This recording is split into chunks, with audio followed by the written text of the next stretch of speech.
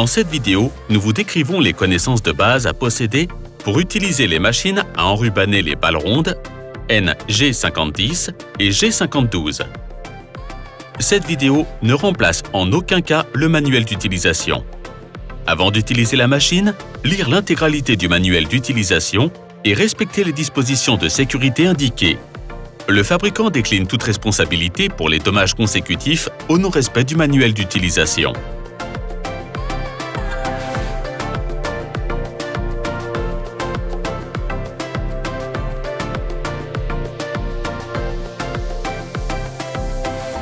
Bonjour, je m'appelle Manuel et je travaille au service de construction de l'entreprise Geweil. Aujourd'hui, je vais vous montrer comment utiliser correctement les enrubaneuses G5010 et G5012. Ces deux machines sont identiques. La seule différence réside dans le fait que la G5010 est équipée d'un satellite simple, tandis que la G5012 a un double satellite. Je vais vous expliquer la vidéo de formation avec la G5012.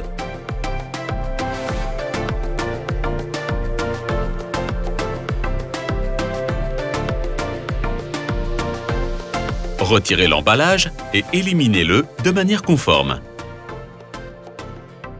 Le pack d'accessoires comprend l'émetteur manuel, le support pour l'émetteur manuel, un capteur de proximité inductif, le manuel d'utilisation et l'antenne radio.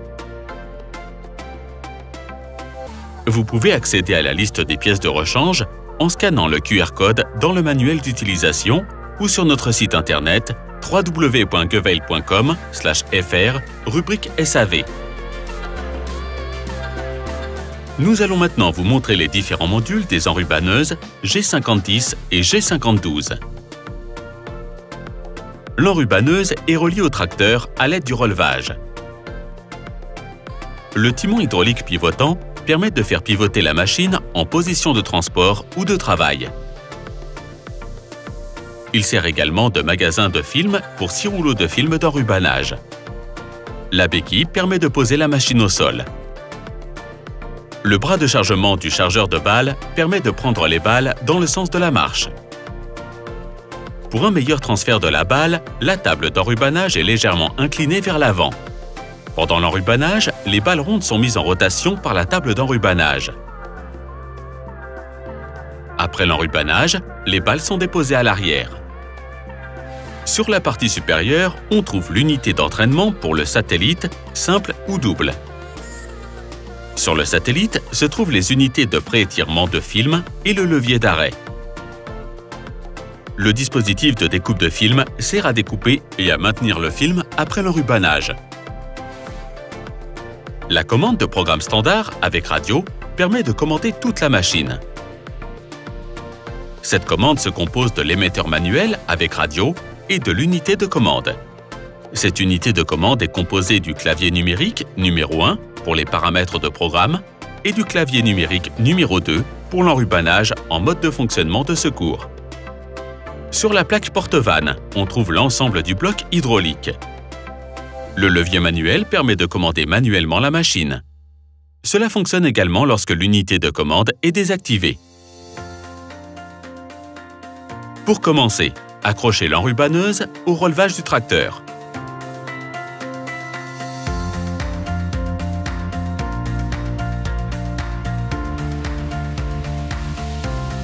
Puis, relevez la béquille vers le haut.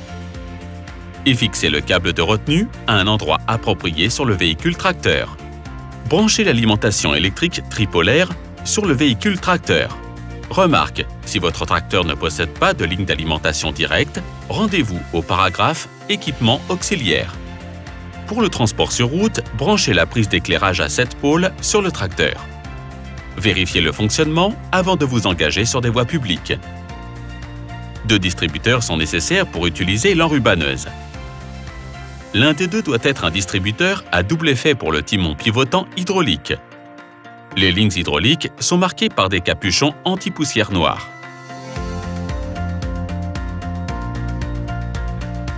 Pour alimenter la machine en huile hydraulique, commencez par coupler le retour avec le marquage bleu. Si possible, il doit s'agir d'un retour dépressurisé, avec liaison directe au réservoir d'huile hydraulique du véhicule tracteur. Ensuite, couplez l'alimentation en huile de pression avec le marquage rouge à un distributeur du véhicule tracteur. Démarrez le tracteur et faites pivoter la machine. Activez ensuite l'alimentation constante en huile de pression. Le volume d'huile optimal pour l'enrubaneuse est de 30 litres par minute. Soulevez légèrement le chargeur de balle pour pouvoir retirer le boulon de sécurité.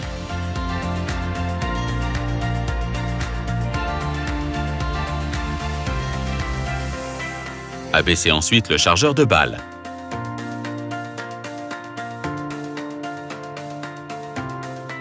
Ajustez le bras télescopique au diamètre de balle à enrubanner.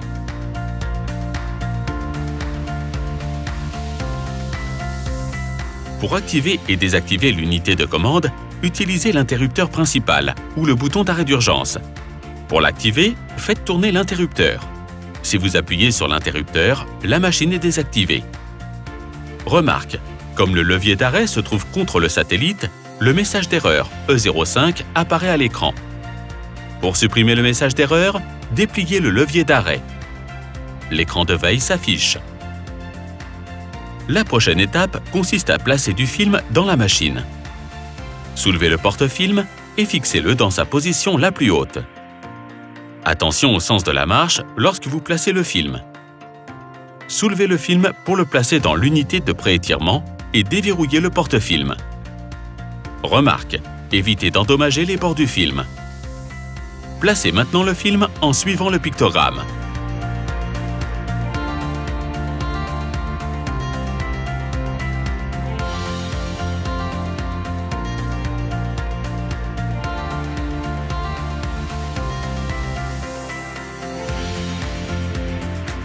À l'aide du levier manuel, faites tourner le deuxième préétireur de film de votre côté et placez-y un deuxième rouleau de film.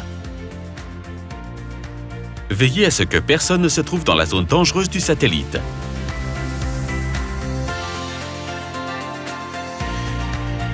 Ouvrez le dispositif de découpe du film à l'aide du levier manuel. Attention, portez des gants pour éviter de vous couper. Retirez d'abord les protections des lames, puis placez le film. Et fermez le levier des couteaux.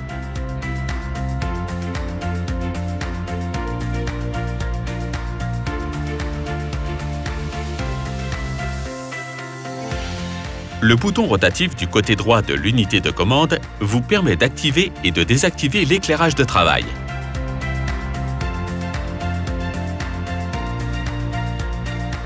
Placez les piles dans l'émetteur manuel et relevez l'antenne pour activer la fonction radio de l'unité de commande. Les rotations du satellite sont visibles sur l'affichage de veille. Le réglage par défaut est de 24 rotations ce qui correspond à 6 couches pour un diamètre de balle d'un mètre 25. Si vous souhaitez modifier le nombre de rotations préréglées, appuyez sur la touche clé jusqu'à voir Réglage des rotations du satellite. Modifiez la valeur avec les touches plus et moins. Confirmez ensuite votre saisie avec OK. Le point de programme Surveillance du film peut également être sélectionnée même si la fonction n'est pas disponible. Elle est alors sans effet. Vous trouverez plus d'informations au paragraphe Équipements auxiliaires. La dernière étape consiste à placer la machine en position de transport. Pour cela, soulevez le chargeur de balle et sécurisez-le avec le boulon.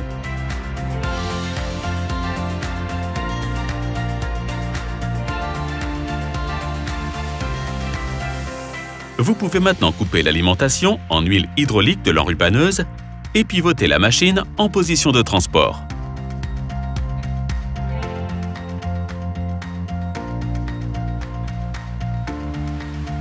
Votre machine est maintenant prête à être utilisée sur le terrain. Au chapitre suivant, je vais vous montrer comment enrubaner vos premières balles.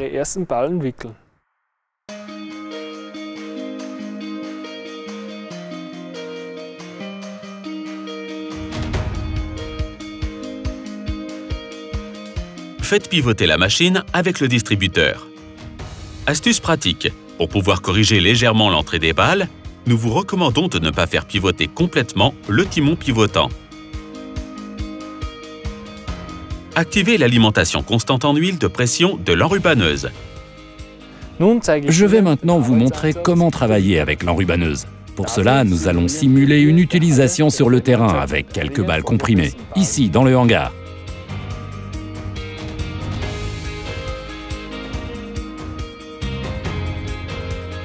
Commencez par déverrouiller le chargeur de balles.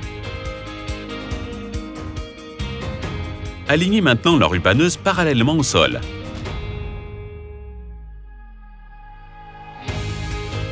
Utilisez le joystick pour commenter le chargeur de balles. Déplacez-vous en direction des balles et abaissez le chargeur de balles en poussant le joystick vers l'avant. Remarque, s'il n'y a pas de connexion radio avec la machine, regardez la vidéo Connexion radio commande standard 2016. Appuyez sur la touche fléchée du bas de l'émetteur manuel pour déplacer la table d'enrubanage en position de réception faites bouger le joystick vers la droite pour ouvrir le bras de chargement. Puis, avancez vers la balle jusqu'à ce que celle-ci soit contre la vanne de démarrage.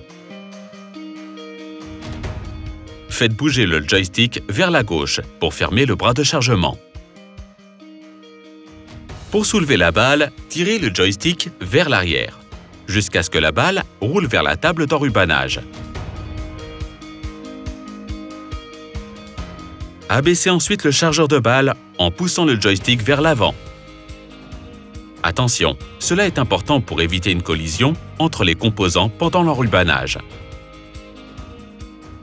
Remarque, sur un terrain vallonné, nous recommandons de ne pas abaisser le chargeur de balle jusqu'au sol.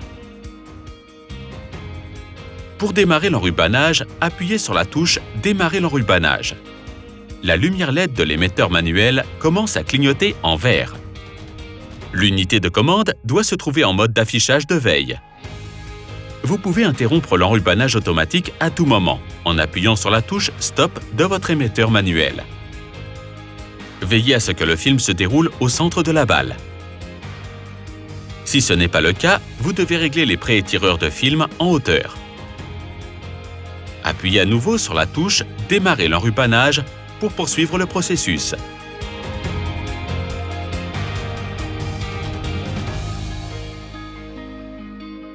La découpe du film d'enrubanage est automatique.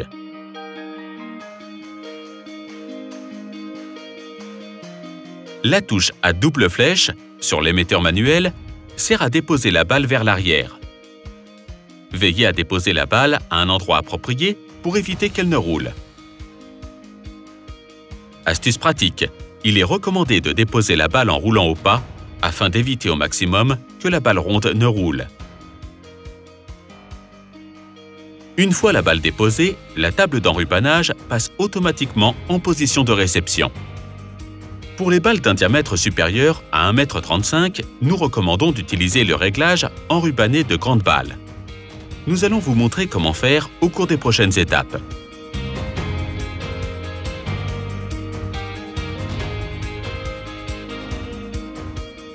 Appuyez sur la touche clé sur l'unité de commande pour accéder au point de programme Grande Balle.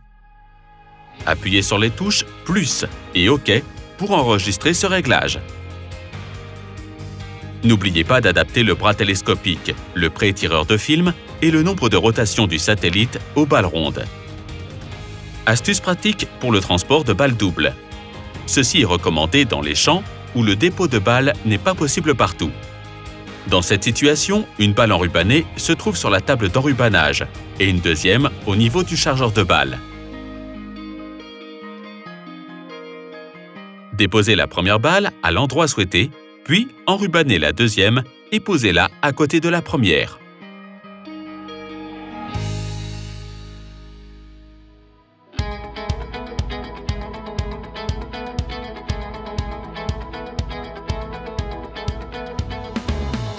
À la fin de votre journée de travail, je vous recommande d'effectuer les actions suivantes.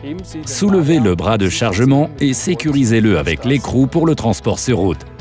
Les balles du jour, indiquées sur l'affichage de veille, peuvent être supprimées individuellement. Pour supprimer les balles du jour, appuyez sur la touche clé.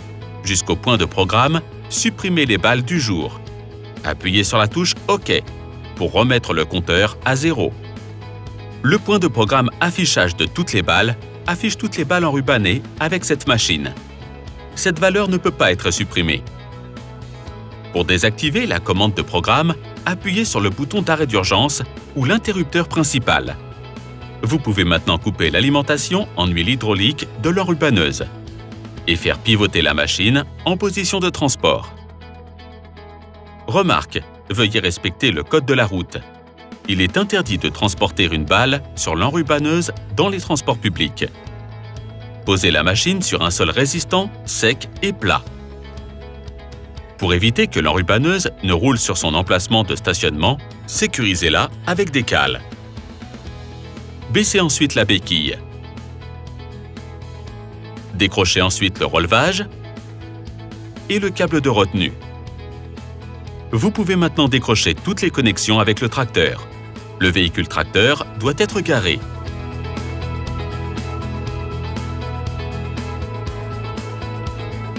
Remarque, séparez toujours le retour en dernier.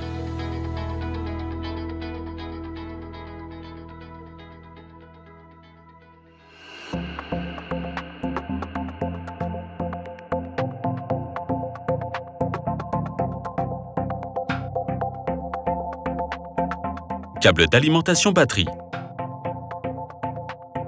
Avec sa prise tripolaire, le faisceau de câble alimentation électrique directe assure une alimentation en tension optimale pour la machine. Il se branche directement sur la batterie du tracteur. Veillez à ce que cette opération soit effectuée uniquement par un professionnel qualifié. Une fois le câble posé sur le tracteur, vous pouvez brancher la machine et mettre en marche l'unité de commande. Entraînement de prise de force. La machine est entraînée par le tracteur via son propre tableau de commande hydraulique. Reliez la prise de force au tracteur et sécurisez-la avec la chaîne. Sur le tracteur, réglez la vitesse de rotation de la prise de force à 540 tours par minute. Rouleau supplémentaire. Le rouleau supplémentaire sert à empêcher la balle de tomber de la table d'enrubanage sur terrain en pente. Il sert également de support pour le redresseur de balle et le tapis de dépôt. Redresseur de balle. Lors du dépôt de la balle, celle-ci est déposée à l'avant, à droite, dans le sens de la marche. Le redresseur de balle est suspendu au rouleau supplémentaire par le crochet, puis fixé.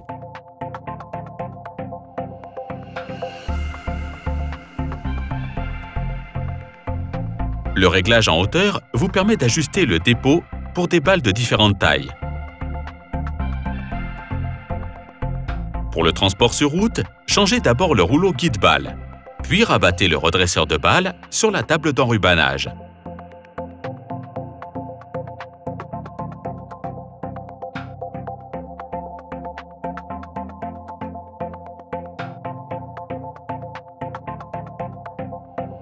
Tapis de dépôt le tapis de dépôt sert à déposer en douceur la balle dans le champ. Suspendez le tapis de dépôt dans le rouleau supplémentaire. Pour le transport sur route, le tapis de dépôt est rabattu sur la table d'enrubanage. Surveillance du film La surveillance du film permet d'arrêter l'enrubanage de manière électronique lorsque le film est fini ou se déchire. Avec la touche clé Accédez au point de programme Réglage test de film. Avec les touches Plus et OK, activez la surveillance du film. Si le film se déchire ou se termine alors que la surveillance du film est activée, l'enrubanage s'arrête et le message d'erreur E04 apparaît à l'écran. Placez un nouveau rouleau de film dans le pré-étireur de film et poursuivez l'enrubanage.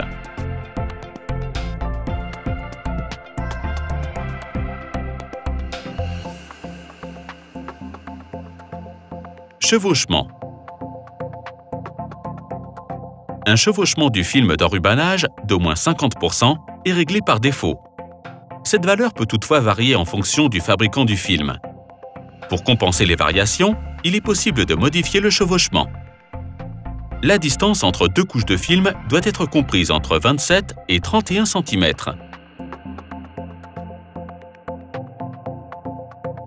Pour augmenter le chevauchement, ouvrez le point de programme Réglage chevauchement.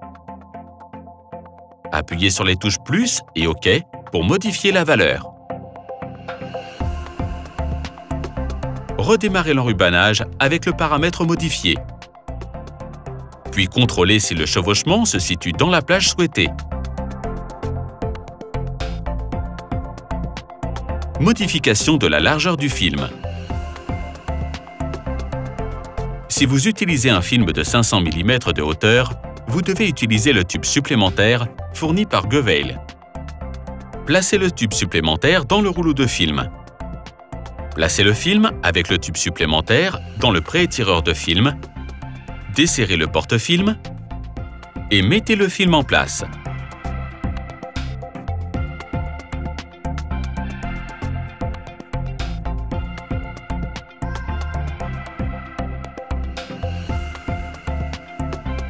Répétez ces actions de l'autre côté.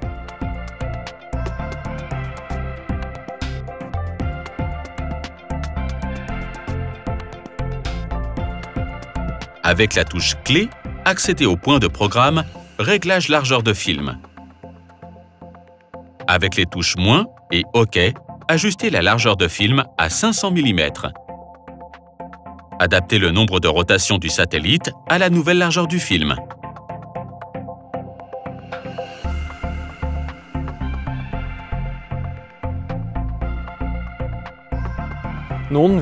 Vous savez désormais comment fonctionnent les enrubaneuses G5010 et G5012.